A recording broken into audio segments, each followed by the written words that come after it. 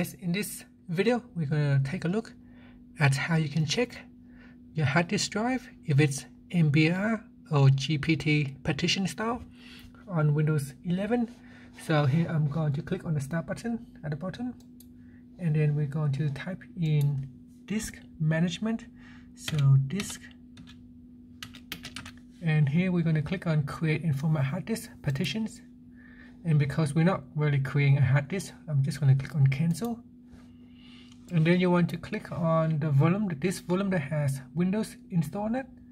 And then right click and click on properties.